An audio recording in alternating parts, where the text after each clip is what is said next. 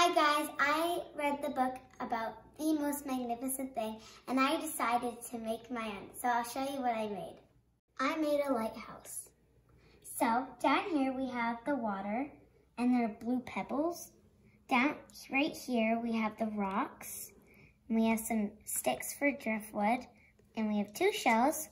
And up here we have the light for the lighthouse that spins all the way around. So I'm going to turn it on. and I'm going to use this button right here that will make it spin all the way around.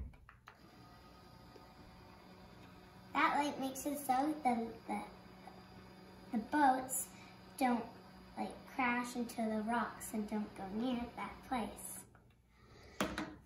Up here we have the, the balcony of the lighthouse and we have two girls that are having a party and we have um, some drinks and some sunscreen.